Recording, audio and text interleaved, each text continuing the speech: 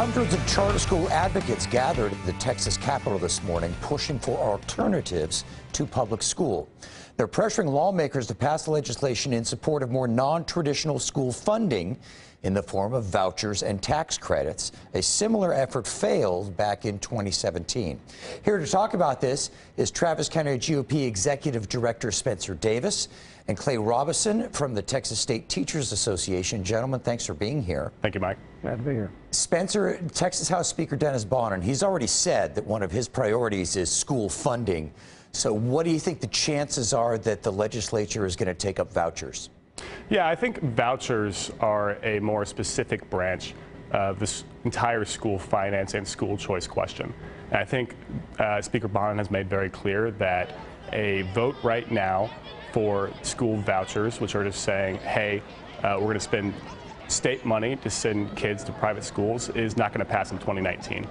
And I think we're seeing a shared sentiment across the rest of the legislature that it's just less of a question, more less of a topic uh, than it was in 2017. Uh, so I expect that we won't see as much about vouchers. Uh, we'll continue to see a lot more about school finance reform. Uh, hey, we have this public school system that needs to be fixed as it is. Uh, and if there is okay. another question about uh, vouchers, we'll see it in the future. You know, Clay, you know, as far as on the record, the Texas State Teachers Association, what is their stand on school vouchers? We're opposed to school vouchers and have been for a long time because they would take money from our public schools that already are underfunded, and that is where the vast majority of Texas school children will continue to be educated.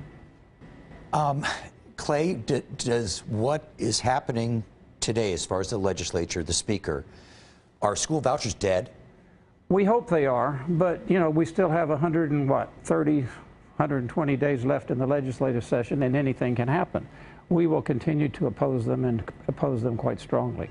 But we, we're, we're, encouraged by what the speaker said, and we're also encouraged by the fact that the House has defeated vouchers on several different occasions in the past 20 years or so. Spencer, what about that? Is this kind of the death knell of school vouchers in the state of Texas? Again, I think we'll see it in the future once the public school finance question is addressed. Uh, I think we might still see some questions about and answers about school choice.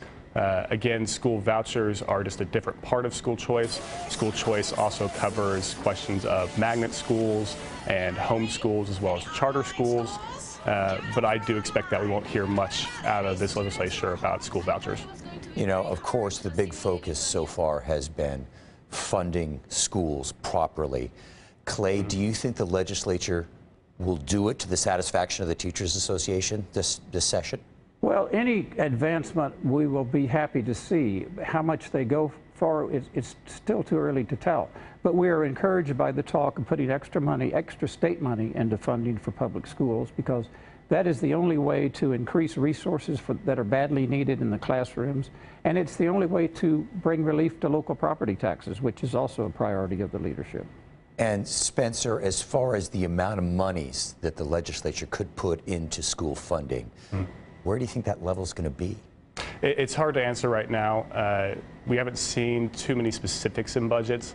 Uh, we expect it'll increase from the state side. Uh, we, you know, from the Republican side, are also looking at this question of increased property taxes uh, and unfunded mandates. The governor addressed that in his inaugural address, not specifically about school choice, but about state programs in general. Uh, so yeah, I think we will see an increase, hopefully, of something that is acceptable to uh, school districts, uh, and that'll help them out, but also give the much needed relief to property tax. Right. Well, it's going to be all about making sausage now. Spencer, Clay, thank you both very much. Thank you, thank you Mike. Enjoy.